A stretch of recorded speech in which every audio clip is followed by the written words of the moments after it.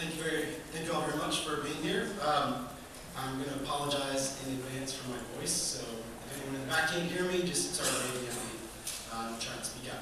So my name is Jeremy Brown. I'm at Louisiana State University. Uh, today, I'm going to talk about a few projects that my lab has been working on in collaboration with the lab of Bob Thomson at the University of Hawaii. So I think we all know that phylogenomic inference poses new challenges. And many of these challenges relate to how we go about sampling the genome, and then once we've collected data, how do we just deal with the scale of the data that we've collected. But the sorts of challenges that I'm going to talk about today and that we think a lot about have to do more with accuracy. So we know that large data sets give us enormous power, and with enormous power comes a lot of precision, but precision does not always translate to accuracy.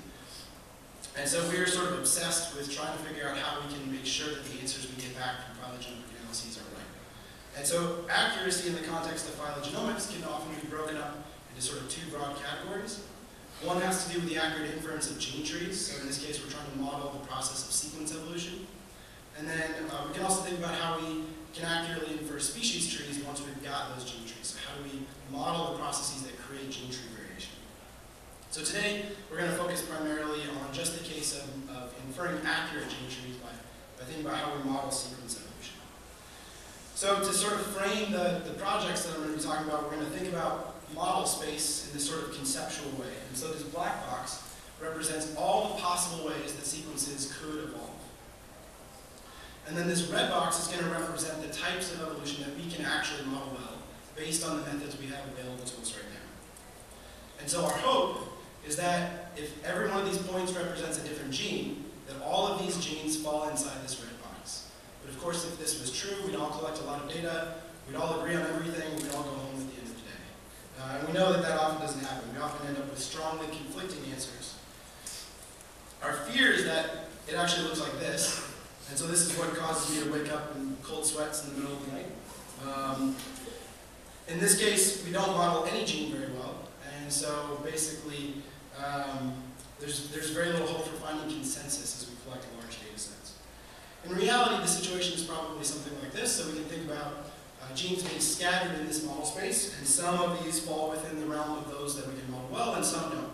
But the question then becomes, what do we do with this? If we know that, that some genes are probably giving us reliable answers and others aren't, how do we deal with that? And so I'm going to talk about three strategies that we've taken uh, sort of within this framework to try, to try and tackle this challenge. So the first one is simply to identify when we're inside of the. So when are we doing well? Which genes can we actually model well? The second is to actually push the boundaries of this box. So if we expand it, we can encompass more genes from across the genome. Oops. And then the last, um, the last approach is to look for outlier genes. So if the size of these circles represents the overall strength of their phylogenetic signal, we can look for genes that seem to have undue influence. And often, it seems in our experience, these genes are genes that we're not doing a good job of. So first of all, knowing when we're doing well. So another way to frame this is as a question of model fit. In this case, we're interested in the absolute fit of our models. And there's a few different ways we can go about trying to quantify or assess model fit. One that we've used a lot is uh, posterior prediction. So this is a Bayesian way of assessing the fit of our models.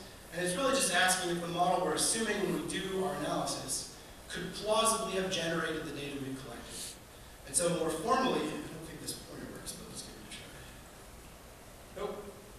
More formally, what we're asking is, uh, could the sequences in our alignment have been generated by the trees and model parameters uh, that come out of our fitted model, that come from the posterior distribution that we've inferred using that same data set? So to do this, mechanically what we do is we use a process called posterior predictive simulation. So if we've done our Bayesian analysis and we have a posterior distribution of trees and model parameter values, we can draw samples from that posterior distribution. So here I've just drawn seven trees and seven sets of uh, model parameters.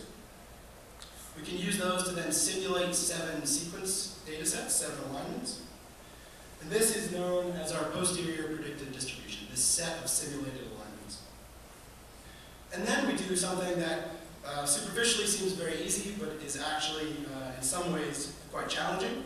So we simply take the data sets that we simulated and we calculate some number, some test statistic, that quantifies something important about those data sets. And then we calculate that same number for the data we collected, the empirical data, and we just ask, is the empirical data a reasonable draw from this posterior predictive distribution? If, it, if our model is doing a good job and it is a reasonable draw, it would look like this blue distribution. Uh, if it's not capturing something important about our empirical data, posterior predictive distribution might look like uh, the one in red, and it might be very distant from the empirical. Um, now, one reason I think that a lot of us haven't applied these kinds of approaches in the past is because while logically it seems very straightforward, mechanically it was quite difficult. There were lots of different steps involved, and you had to move between different software programs. So one of the things that we put a lot of time into is implementing all of these steps in sort of a self-contained pipeline in RevBayes. Uh, so that's available now. There's tutorials on the RevBayes website if anyone's interested in trying this. So we're, we're sort of uh, constantly trying to add um, uh, new tools for learning about these approaches in the blind.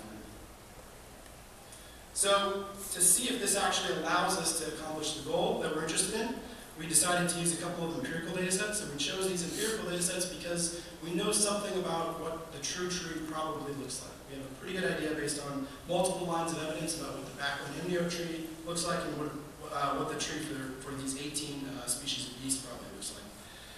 And so what we simply did was to take all of the genes in these data sets, apply posterior prediction, and see if we could rank them based on their fit, and then see if those that ranked better based on these tests actually gave us trees that looked more like what we think the true tree is for that group. Now for the sake of time, I'm going to gloss over a lot of the details. If anyone's interested in thinking about how to apply these approaches in their own work, I'd be happy to talk more about it. But I'm just going to simply give you a thumbs up and say that we were able to do this. So if you rank genes based on model fit, those that seem to fit our models better give us trees that are closer to what we think the true tree is for these groups. And so I think that gives us some confidence that what we're doing is at least reasonable. So that's one approach, defining the boundaries of the red box. The next approach is pushing the boundaries of this red box out further so that we can encompass more genes. And in this case, we're not actually developing any new models, but we're simply asking, of the available models that are out there that aren't applied very often, uh, can some of them actually help us? Can they, uh, do they provide a better fit to the kinds of uh, data that we collect in phylogenomic studies?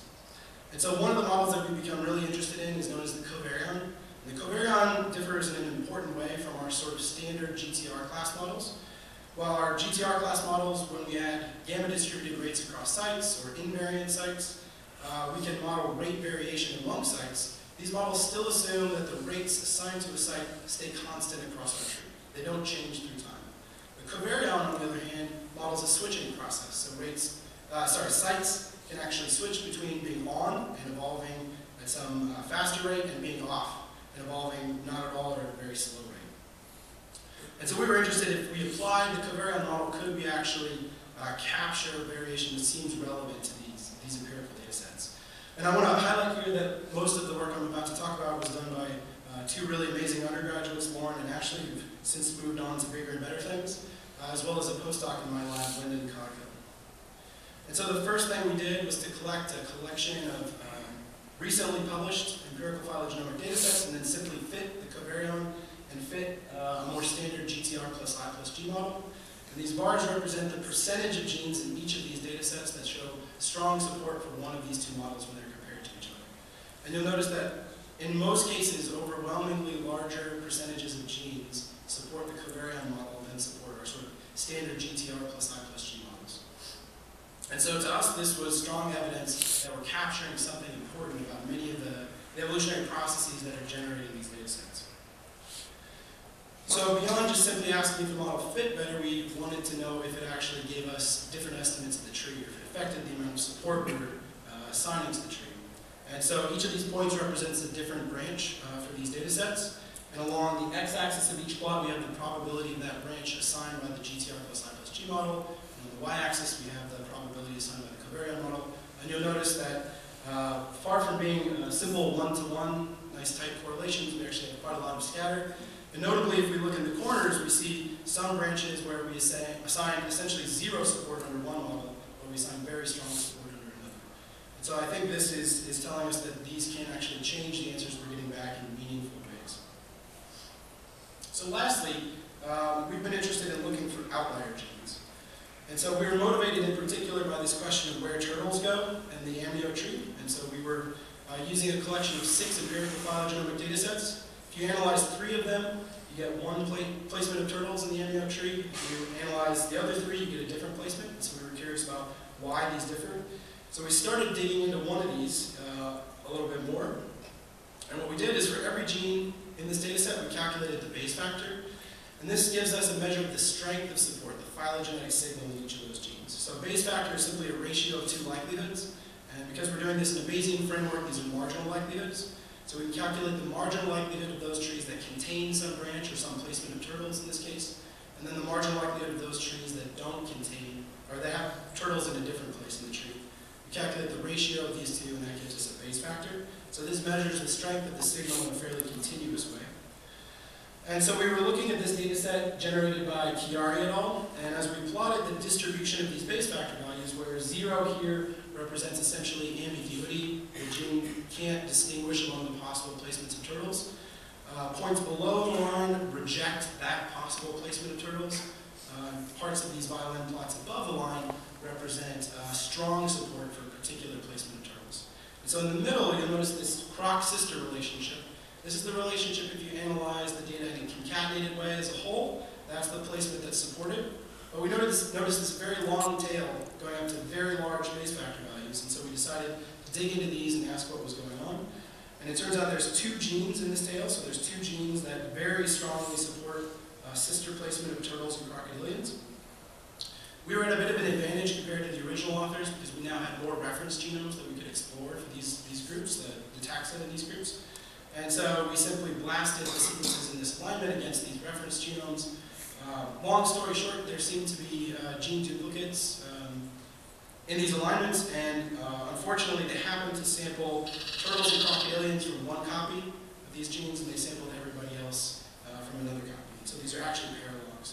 So if we look back at this overall data set, if you analyze the data set as a whole in a concatenated way, you get a posterior probability of one placing turtles, sister to crocodilians. If you take out just those two genes, we still have 246 genes left, but we get a very different answer for the of turtles. We get turtles strongly supported as being sister to archosaurs, so they play the birds and crocodilians together. So we started exploring whether or not similar patterns exist in other data sets, and it seems like they do. For one of these other data sets, if you remove the 1% of genes that strongly support turtles as sister to crocs, get a similar flip in turtles become sister to archosaurs. So we're still digging into why uh, these genes in these other data sets might show this pattern, but there seems to be a consistent trend here. And so I think more broadly, the points I'm just trying to make here are that there's lots of opportunities for us to conduct phylogenomics in a more robust and creative way. And these are three sort of strategies that we've tried. There's many others.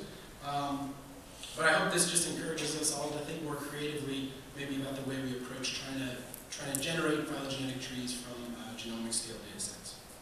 So with that, I'd like to acknowledge, NSF for funding, um, LSU for funding and computational support, um, and a series of collaborators who've been integral to a lot of these projects. And I'd be happy to take any questions. Thank you.